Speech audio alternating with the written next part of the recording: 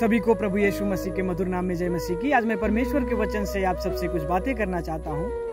Romeo 12 अध्याय, उसके 19 आयत में लिखा है, हे प्रियो, बदला ना लेना, परंतु परमेश्वर के क्रोध को अवसर दो। क्योंकि लिखा है, बदला लेना मेरा काम है, प्रभु कहता है, मैं ही बदला लूँगा।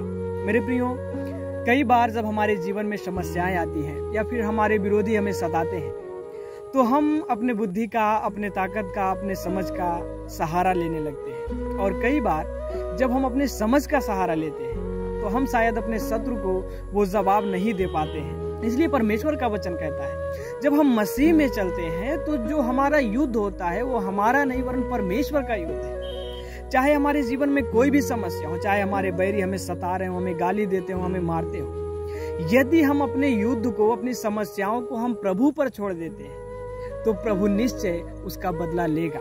आ, लेकिन जब हम अपने ताकत का इस्तेमाल करने लगते हैं अपने बुद्धि का इस्तेमाल करने लगते हैं तो शायद हम अपने शत्रुओं को उसका जवाब नहीं दे पाते हैं। इसलिए मैं आप सबसे बताना चाहता हूँ परमेश्वर का वचन कहता है तुम संपूर्ण मन से यहोवा पर भरोसा रखना तब वह तेरे लिए सीधा मार्ग निकालेगा। आज आपके जीवन में क्या समस्या हमें नहीं पता।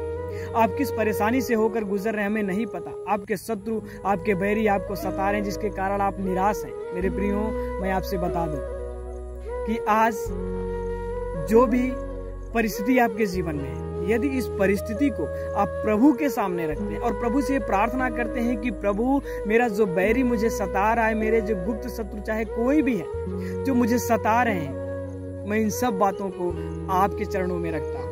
क्योंकि जब मैं अपने बुद्धि का, अपने ताकत का इस्तेमाल करूँगा तो शायद अपने शत्रुओं को जवाब नहीं दे पाऊँगा।